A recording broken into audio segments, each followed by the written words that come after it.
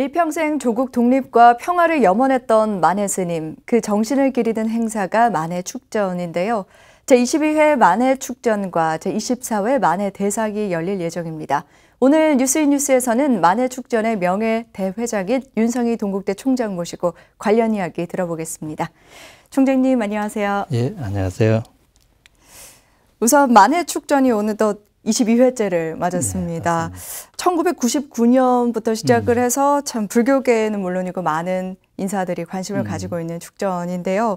만해 축전에 대한 의미부터 한번 짚어 주시겠습니까? 예, 그 만해 축전이 벌써 지금 말씀하신 것처럼 벌써 22회째가 되었지 않습니까? 어, 다 아시다시피 우리 만해 스님은 어, 우리 민족의 독립운동 정신을 일깨워 주시고 그리고 또 전 세계 평화와 어, 생명의 고귀함을 어, 외쳤던 그런 분이십니다.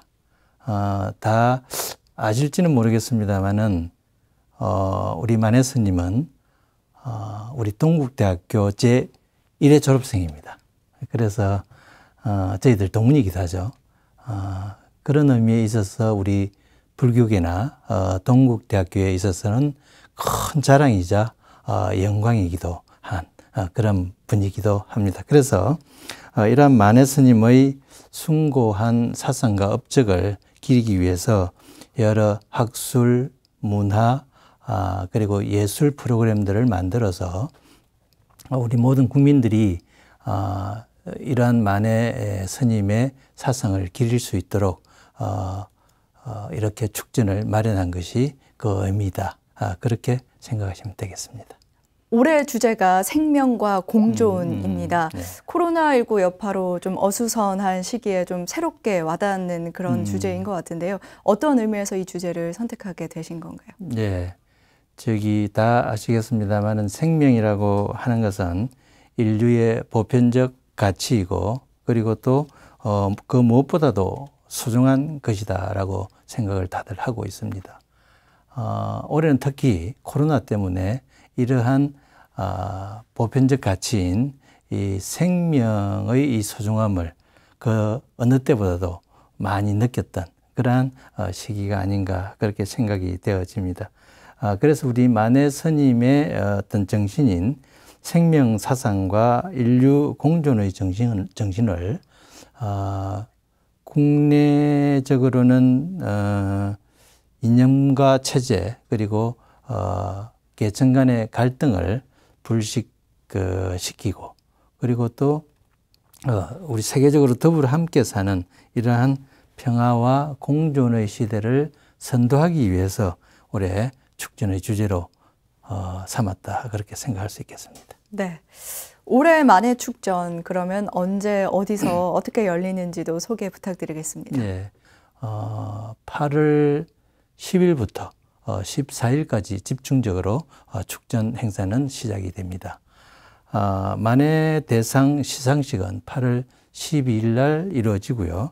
어, 그리고 인종, 종교, 국가를 초월해서 만해 스님의 자유 평화 사상과 독립 운동 정신을 널리 선양하기 위해서 다채로, 다채로운 행사가 진행이 됩니다. 에, 올해는 만에 76주기 추모 행사를 비롯해서 7개 단체에서 학술 세미나를 열고 그리고 6개 단체에서 문화예술 경연대회를 실시하고 있습니다. 아, 그리고 또 4개 단체에서는 지역 대동 행사를 함께 가지게 됩니다. 네.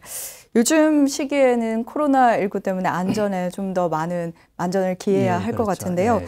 지난해와 다르게 좀 특별하게 준비한 것들도 방역 대책이 음. 있다면 알려주시겠습니까?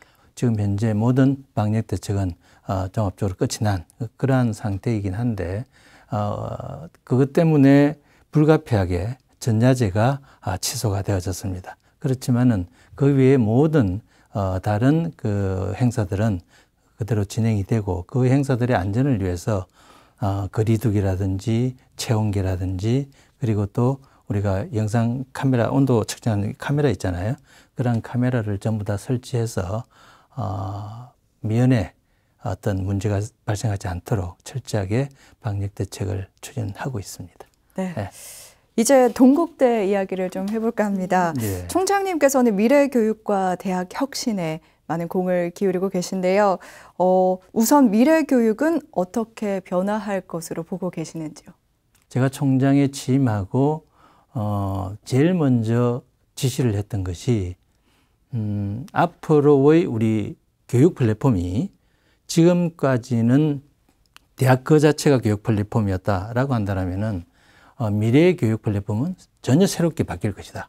그렇기 때문에 새롭게 변화되어질 교육 플랫폼에 대해서 준비를 해라.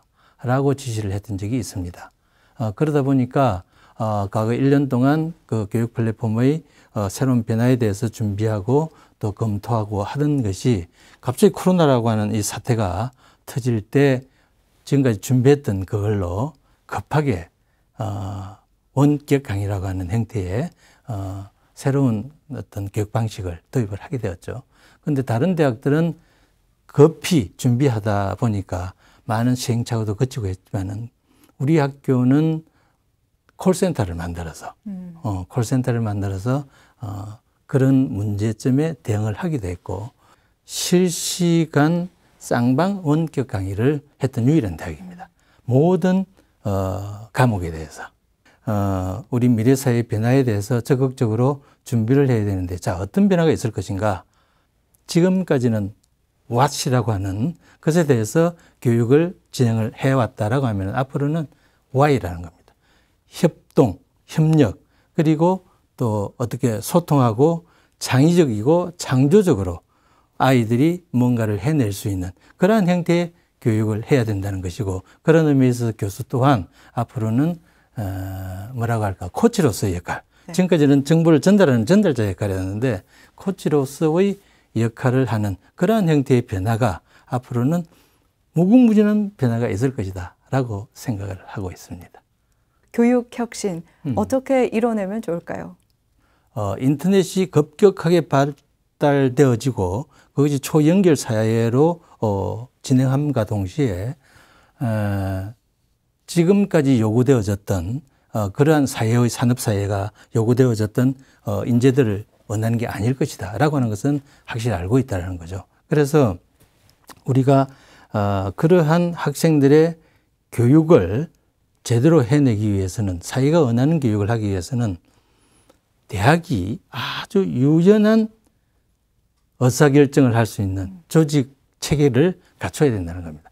유연한 조직 체계를 갖춰야지만 조금 전에 말씀드렸던 미래의 불분명한 불확실한 사회에 능동적이고 적극적이고 선제적으로 대응을 할 수 있는 혁신을 할 수 있는 조직이 만들어진다라고 하는 겁니다. 가장 중요한 것은 거기에 있는데 과거의 총장은 총장의 어떤 역할이다 그러면은 어, 도덕적으로 건전하고 그리고 학문과 학술적으로 존경받고 실력이 출중하시면은 총장으로서 충분했습니다. 지금의 총장은 어, 대학이 나아가야 될 비전과 목표를 구체적으로 설정할 수 있어야 되고 그리고 그 목표를 달성하기 위해서는 어, 구성원들 예를 들면 교수나 학생이나 우리 동문들이나 사회 많은 사람들의 이런 구성원들이 어, 서로가 협력하고 소통을 통해서 조정자로서 역할을 다할 수 있어야만이 총장으로서 역할을 다할 수 있다라고 생각을 하고 있습니다. 어, 우리 동국대학교는 앞으로 동국 미래 교육 포럼이라고 하는 포럼을 만들어서 조금 전에 제가 말씀드렸던 조정이라고 하는 어떤 그런 과정을 거쳐서 미래에 대응하려고 하고 있습니다. 그래서 그 포럼은 어, 교수나 직원이나 학생이나 그리고 또 외부의 전문가나 어, 동문들이나 우리 불교계 인사들이나 모든 사람들이 함께 참여해서 어, 동국의 미래 교육에 대해서 함께 걱정하고 논의하고 어, 해서 새로운 답을 찾아내어서 그 답을 가지고 어, 조정 역할을 통해서 어, 미래에 대비하겠다라고 하는 것이 저의 보관이고 앞으로 우리 대학 교육 혁신은 그러한 방향으로 나아갈 것이다라고 생각을 하고 있습니다. 네. 동국대가 미래 교육을 위해서 한 발 앞서 나가는 그런 모범 교육기관이 되길 바라고요. 또 만해 축전이 인종, 종교, 국가를 초월해서 자유, 평화 사상과 독립운동 정신을 널리 알리는 그런 축제가 되길 바라고 있겠습니다. 오늘 말씀 감사합니다. 아유, 고맙습니다. 네.